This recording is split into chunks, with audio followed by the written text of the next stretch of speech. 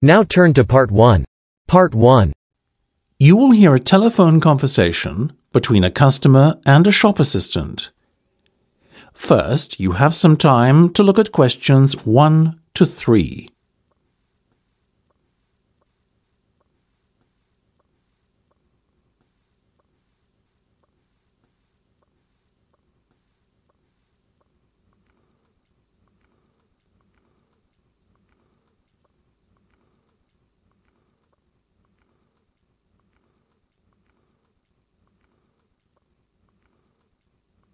You should answer the questions as you listen, because you will not hear the recording a second time. Listen carefully and answer questions 1 to 3. Good morning, Jenny's Suit Rental. Jenny speaking. How may I be of service? Hi there. My name is Max Jones. That's J O N E S. And I'm looking to rent a suit out for a special occasion. Certainly, Max. We charge a set fee for our services. You can either choose from our designer range and pay £50 to rent your suit out, or choose from our standard range at a cost of £25. So, what will it be? Oh, the first option, please, Jenny. Uh, £25, did you say? Unfortunately, not. The designer range is twice that price. Oh, in that case, I'll take the second option. Uh, standard, was that it? That's right. Now, before we go any further, may I ask how you intend to pay? Do you accept checks? Yes, but only in exceptional circumstances. We prefer cash or credit card. Well, as I haven't got one, does this count as uh, those circumstances? Yes, that'll be fine. Make it payable to Jenny's Suit Rental. Will do. Before listening to the rest of the conversation, you have some time to look at questions 4 to 10.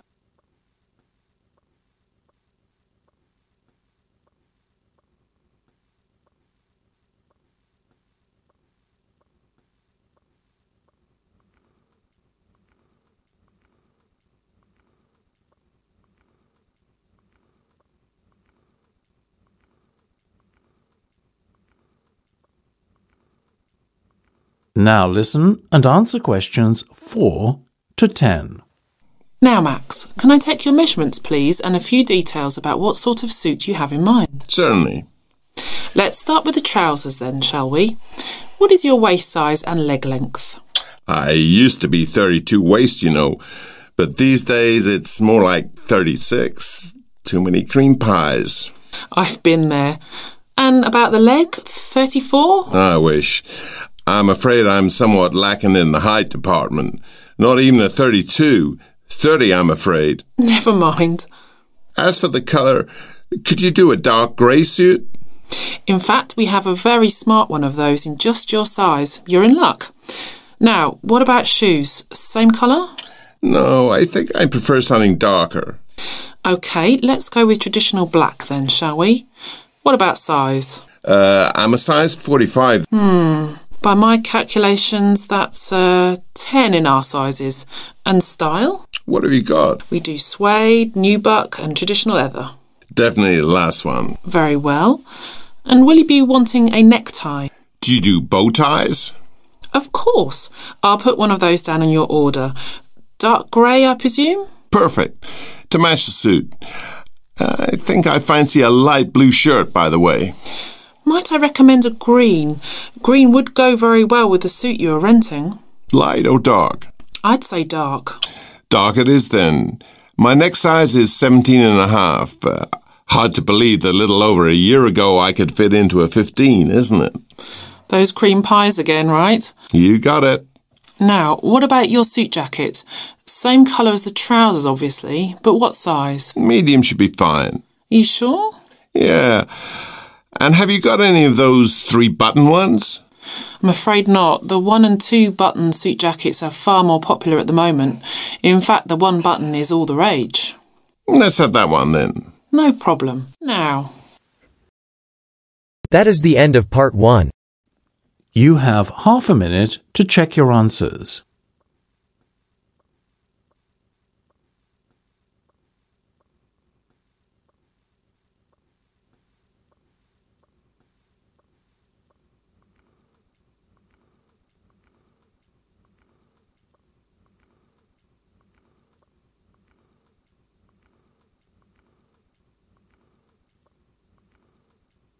Now turn to Part 2.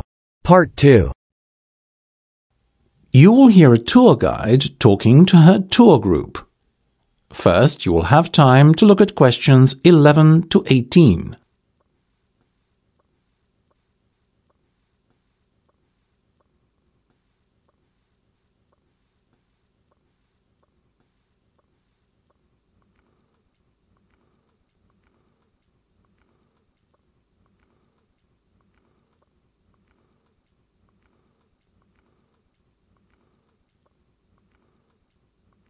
Now listen carefully and answer questions 11 to 18.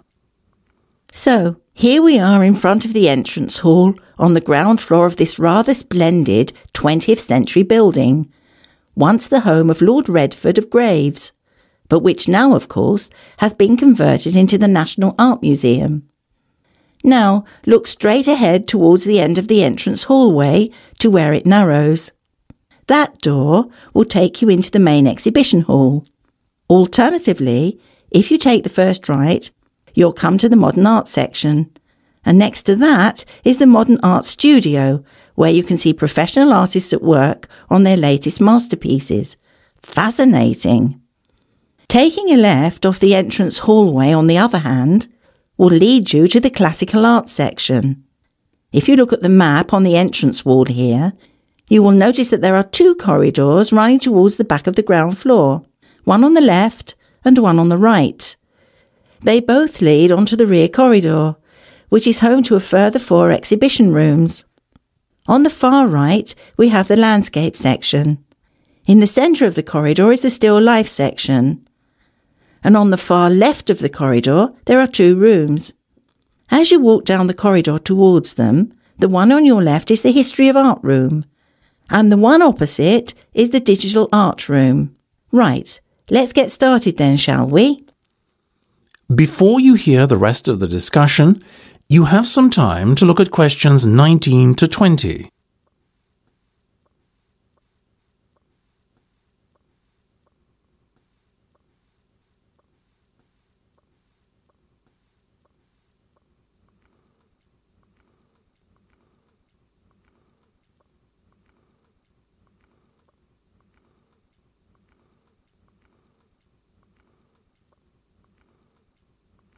Now listen and answer questions 19 to 20. Our first port of call will be the digital art room down at the end. This exhibition has been open little more than a month, but has proved hugely popular with visitors so far. It is an interactive exhibition space, and visitors are encouraged to touch and feel the exhibits to their heart's content. Though, of course, I shouldn't need to remind you that this is forbidden in the rest of the museum, as is the use of cameras. So please ensure that you do not take any pictures once you leave the digital art room. That is the end of Part 2. You have half a minute to check your answers.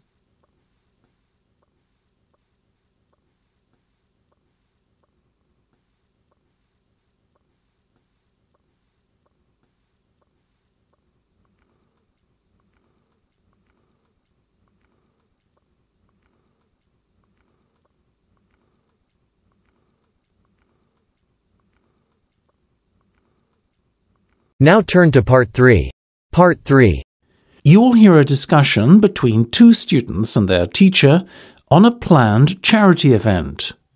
First, you have some time to look at questions 21 to 25.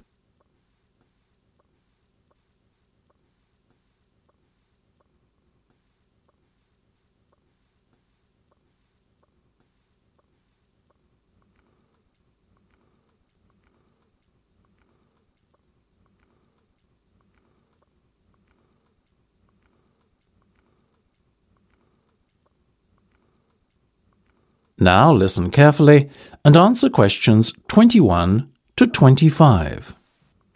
So, are you making any progress with your plans for our annual charity event? I guess first things first. Have you decided what charity it will be in aid of this year? We're thinking about Help the Children Africa, sir. Well, that's Mark's idea, sir. But I myself prefer a local charity called the Meals on Wheels. I'd have to agree with Laura on this one, Mark. After all, we're supposed to be giving back to the local community, and although helping African children is a very worthy cause, it's a little outside our remit. That settles it, I guess. Moving on from the beneficiary question, have you made a decision on what type of event it will be? Yes, we plan on doing something a little different this year. We're calling the event Balloonathon. Basically, we're going to offer balloons for sale to all the students. Balloons?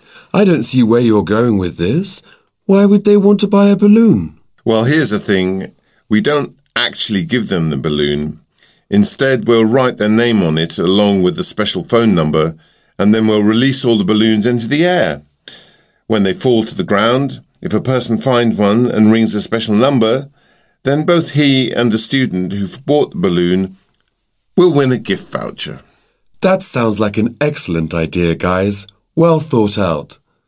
This balloonathon has a real novelty value attached to it, don't you think? Exactly what we said, sir. The only drawback is that the gas you put into the balloons is rather expensive. How much? About £20 per canister, and we'll need about 10. And how many balloons are you planning to blow up? Well, there are over a thousand students in the school, so if even one third of the students buy one, we'd need about 350 balloons. We've decided to order 500 so we don't run out. The good thing is we can return the canisters of gas if we don't use them, and the balloons aren't expensive, so there's no real risk of us spending a lot of money without getting a good return. You two have really thought this one out. I'm impressed. Before you hear the rest of the discussion, you have some time to look at questions 26 to 30.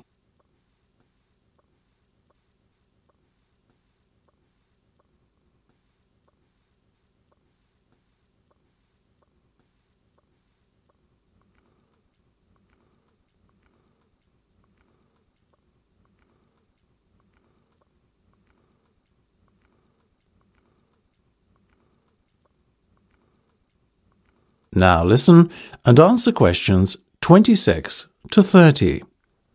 Thank you, sir. So, how much money do you think we can raise?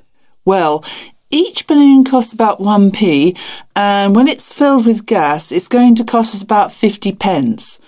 We reckon that if we sell our balloons at a price of £1.50 and we sell all 500 of them, we'll end up making a profit of £1 per balloon. So that's £500 in total. That's fantastic. And it gets better, sir. We've secured a sponsor for our event who's going to give us a thousand pounds. How did you find a sponsor? The balloon company we approached about buying the balloons asked us if we'd be interested in letting them sponsor us too. What's in it for them? They're going to print their logo on every balloon. I think you've done a good deal there. Thank you, sir. So, do we have your approval to confirm our order? Absolutely. But you know, I think we can sell more balloons if we set our minds to it. So why not order double the amount? A thousand instead of five hundred. We're going to need more than 10 canisters of gas then. Double the amount, presumably. Correct. Okay, let's go for it. Let's make this year's charity event our most successful ever. That is the end of part 3. You have half a minute to check your answers.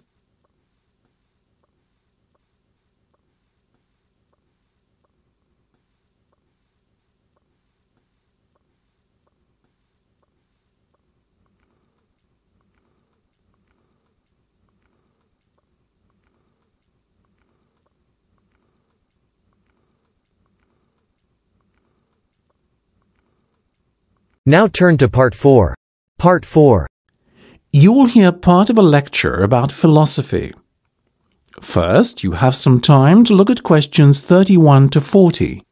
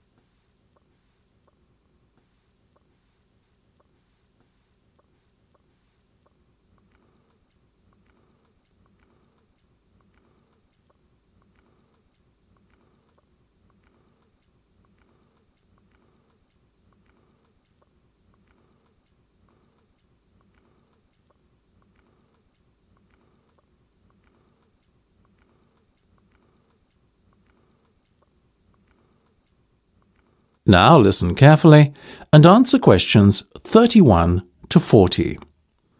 Most of you, I hope, uh, will be familiar with the name Socrates. The ancient Greek philosopher is perhaps one of the most admired people in history. Socrates led a very noble life. He was, I suppose you could say, an optimist who believed in the good of mankind. According to Socrates, human nature leads people to act correctly and in agreement with knowledge. Socrates believed that evil and wrong actions arise out of ignorance and is famously quoted as saying, No man knowingly does evil.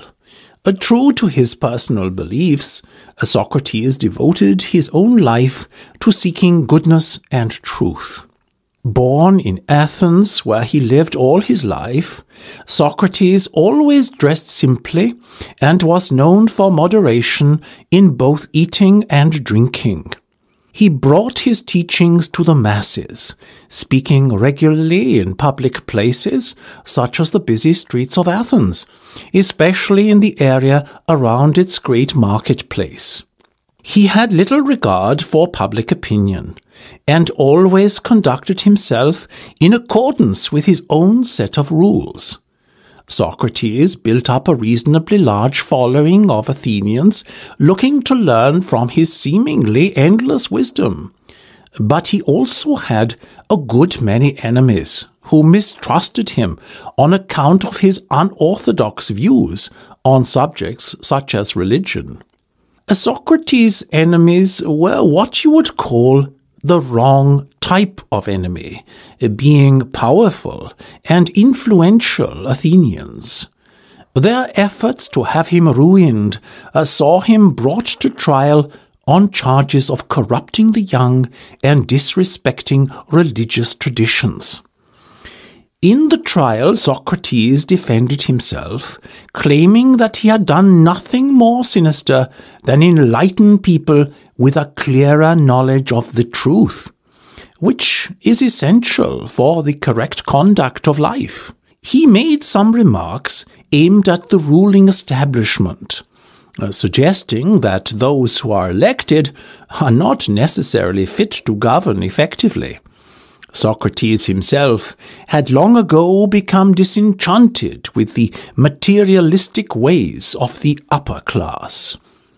Unfortunately, his views were seen as an attack on democracy and the electoral process, so the jury found Socrates guilty as charged and sentenced him to death.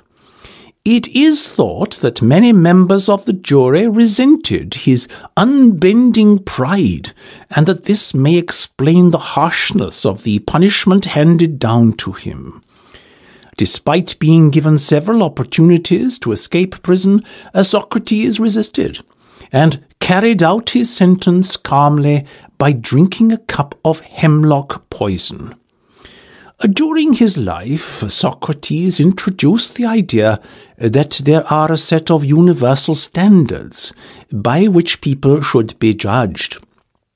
His method, known as the Socratic method, involved discussion between two or more people around some key term. In theory, those party to the discussion should all define the term in the same manner. However, his studies found that this was seldom the case. Socrates encouraged his followers to engage in such discussions with the goal of trying to proceed from less adequate definitions to more accurate definitions over time. The ultimate goal being a true and universal definition that could not be contradicted by anyone. This method tended to expose the ignorance of the Athenians of his day. It showed that many things that they assumed true were in fact false. Socrates also used irony to expose people's ignorance of key concepts. That is, he claimed to differ from others in recognizing that he himself was ignorant. His insistence on ignorance reminded other people of their own ignorance. but won him few friends in high places. That is the end of part 4. You now have half a minute to check your answers.